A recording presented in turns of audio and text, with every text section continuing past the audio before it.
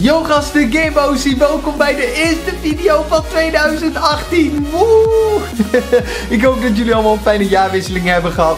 Ehm, deze video komt gewoon online om 9 uur ochtends, dus het is natuurlijk niet dat ik nu al de video heb gemaakt. Want waarschijnlijk lig ik momenteel nog gewoon lekker te slapen, want gisteren is het sowieso laat geworden. Dus ik weet het nu nog niet eens, maar ik weet eigenlijk al wel wel zeker dat het laat gaat worden.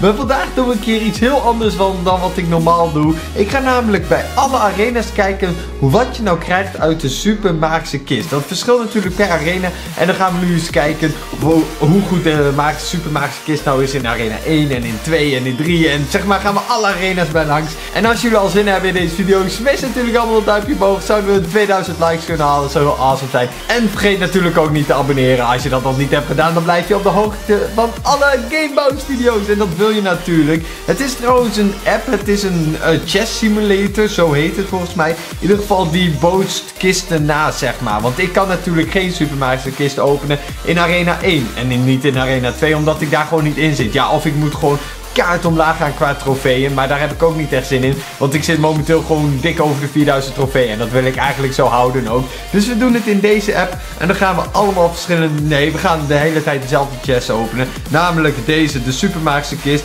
En hier kan je dus gewoon de arena selecteren uh, waarin je hem wil openen. Dus dan gaan we elke keer één stapje omhoog. En dan gaan we eens kijken hoe goed die chests zijn. Want hoe hoger je zit, hoe beter die chesten. Daar komt het gewoon op neer. Maar laten we maar beginnen met uh, een Arena 1 Super Je krijgt dan natuurlijk 1600 goud. Het is niet heel veel. Het zijn trouwens niet extreem goede kaarten die je meestal krijgt in een Arena 1 um, Super Magische kist. Maar mag je er één krijgen, dan is het wel super chill. Want je krijgt wel super veel epische. En dat is voor Arena 1 wel chill. Maar volgens mij kan je niet eens een legendarische krijgen uit zo'n uh, Arena 1 Super kist. Um, je krijgt de Prince Valkyrie Giant. Je krijgt wat zeldzame kaarten. Dit zijn zeg maar de totaal aantal kaarten die je hebt dan had kunnen krijgen. Um, in totaal zie ik hoeveel epische? Ik zie 6 epische kaarten. Nog wat zeldzame, 40 zeldzame en de rest zijn uh, normale kaarten. Het is, als je het mij vraagt, wel een chille kist, maar het is niet echt de moeite waard. Toen je ze kon kopen in, deze, in de store, kost zo'n kist kostte zo 40 euro ongeveer. Nou, dan is dit het absoluut niet waard. Eigenlijk vind ik 40 euro is eigenlijk te duur voor elke soort kist. Maar als je het dan toch wil uitgeven, dan is dit echt niet waard. Maar dit was natuurlijk ook nog maar Arena 1. We gaan nu even naar Arena 2. Dat is Bone Pit. Dit is Arena 2. Dan uh, ben je alweer ietsjes omhoog. Dan zit je boven de 400 trofee. Dus mocht je boven de 400 trofee hier zitten en zit je in Arena 2. En mocht je een Super Mario kist krijgen, dan is dit wat je kan krijgen. Een Goblin Barrel drie keer. Een Witch twee keer. Ik zit nu al op de 5 epische. Dus dat is al bijna evenveel als net. Uh, weer bommen gooien. Die had ik net volgens mij ook. Oké, meer epische. Er zit 7, 8, 9 epische heb ik volgens mij nu in totaal geteld. Um, even nachecken. Ja, ja, inderdaad. 9 epische. Dus er zijn al behoorlijk wat meer epische als de kist hiervoor. En wat zeldzame. Nou, niet zo heel veel zeldzame. Alleen de Valkyrie en de rest zijn normale kaarten. Maar ja, je wilt natuurlijk liever epische krijgen dan een zeldzame kaarten. Net zoals je... Oh, als ik moet kiezen tussen 100 epische of 1 legendarische. Dan weet ik ook. Dan ga ik sowieso voor de legendarische. Die zijn zoveel chiller. Maar uh, dit was dus de Super Magische kist in Arena 2. Dan gaan we weer ietsjes verder gaan we naar Arena 3. Hier wordt het al wel iets serieuzer. Hier heb je al wel kans op iets betere kaarten. Moet ik even reclame wegklikken. Dat is wel irritant dat je dat hebt in deze app. Maar ja, die lui moeten natuurlijk ook op de een of andere manier hun geld uh, verdienen. Uh, mini Pekka als zeldzame. Giant weer een zeldzame. Nu een Rage spel als epische. Dat is op zich wel nice. Skelet Army is ook nice.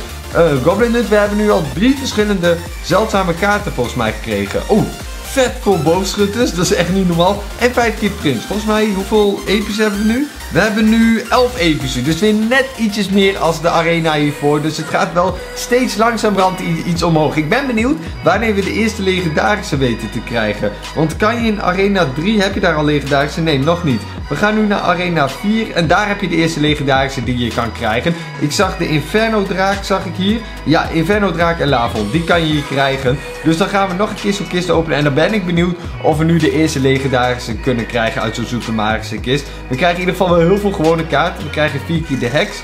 Krijgen weer normale kaarten, bomgooier. Ja, kijk, nu, nu begint het redelijk veel te worden, de kaarten die je krijgt. Maar geen legendarische. Ik denk dat de kans in de wat lagere arena's best wel klein is dat je een legendarische krijgt uit zo'n supermaakse kist. Want in, ik denk in de hoge arena's is de kans veel groter dat je een legendarische krijgt. Maar we krijgen nu wel gewoon weer 12 epische, heel veel normale kaarten en ook wat zeldzame. Ik vind het wel een beetje vergelijkbaar met zeg maar de arena hiervoor. Er zit niet heel veel verschil tussen, tussen arena 3 en tussen arena 4. Maar we gaan nu naar arena 5. Daar komen er weer legendarische kaarten bij. Dus dan wordt de kans natuurlijk alweer iets groter dat je een legendarische krijgt. Je krijgt weer Rage. Dan krijg ik er 4 van. Dan krijg je Xbox. Zitten we nu al 9. Holy shit.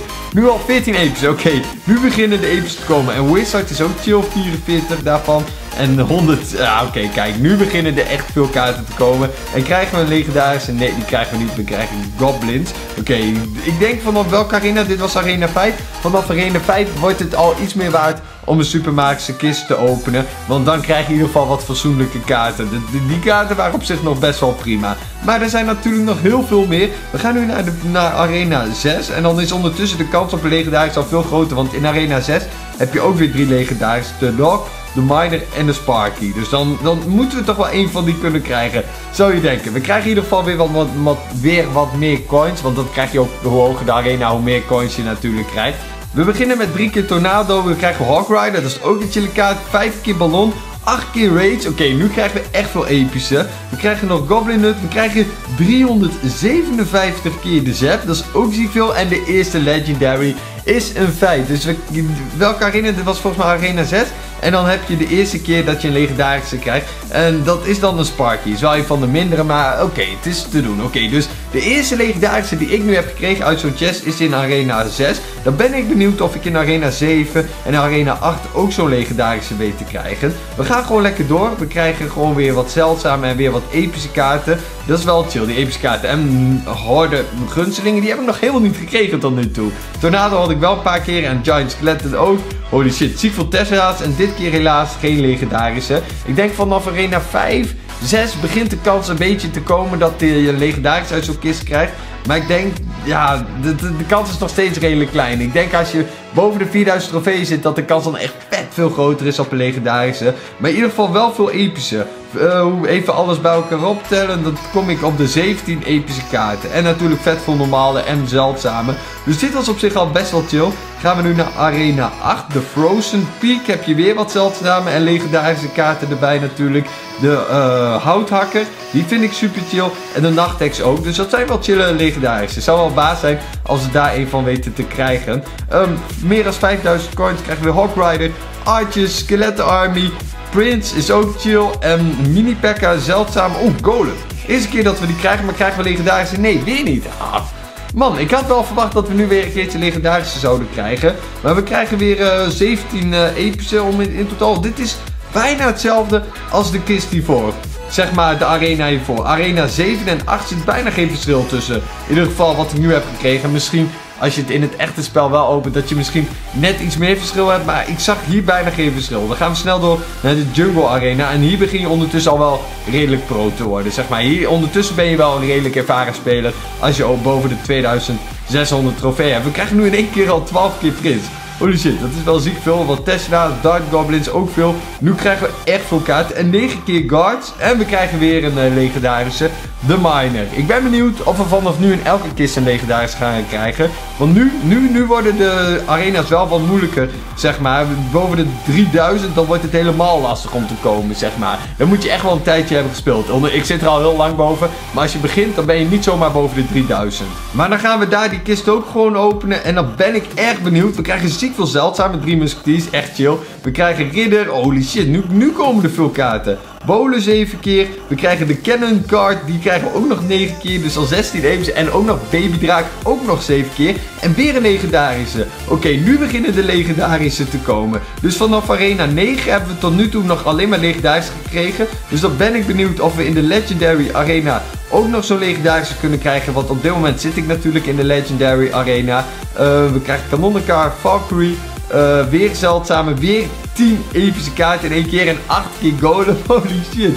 Minimaal en 5 keer, nee, meer dan 500 keer de Mortier. En we krijgen weer een legendarische. Oh, de Lock. Die wil ik zo graag hebben een keertje in het echt.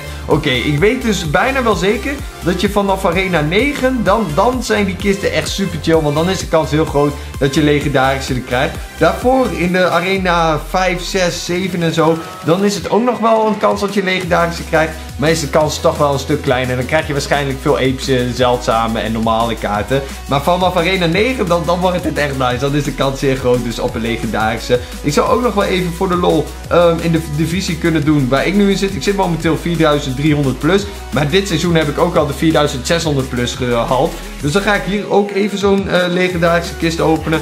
Volgens mij maakt het niet uit of je 3800 plus hebt of 4600. Volgens mij blijven de kisten dan wel gelijk. Maar dan ben ik benieuwd of ik dan hier ook nog een legendarische weet te krijgen. In ieder geval ziek veel de prins. En inderdaad weer een legendarische. En weer de lock. Holy shit. Dus ik denk dat je bijna standaard, als je heel hoog hebt qua trofee, dat je gewoon standaard in zo'n kist een legendarische kaart krijgt. Dus uh, dit is wel chill. Dan ben ik daar ook achter gekomen. En ik denk dat voor veel van jullie dit ook wel handig is om te weten. Misschien als je nog niet heel hoog bent, dan weet je gewoon... Ja, vroeg of laat komt er wel een keer zo'n legendarische kaart aan. En dan kan ik hem ook gewoon hebben door zo'n supermagische kist. Vooral door opdrachten is dat echt heel chill als je zo'n supermagische kist weet te krijgen. Maar dit was het in ieder geval voor deze video. Ik hoop dat jullie hebben genoten. Dus ja, laat natuurlijk allemaal dat duimpje omhoog achter. En wil je ook dat ik dit een keertje ga doen met andere kisten, bijvoorbeeld de reuzenkist en de magische kist, laat dat dan ook mij even weten beneden achter in de reacties. En dan heb ik nog maar één ding te zeggen. En dat is natuurlijk tot slot. Ik zie jullie later, bazen. Bedankt voor het kijken naar deze video. Als je dit filmpje leuk vond, dan vind je dit filmpje wat hier staat ook wel leuk. Waarschijnlijk, hoogwaarschijnlijk. Dan kan je daar nu nog op klikken. En mocht je nog niet geabonneerd zijn, dat kan je dan hier doen. Dan kan je daarop drukken en dan kan je abonneren. En dan word je natuurlijk lid van de Boos Army. Yeah!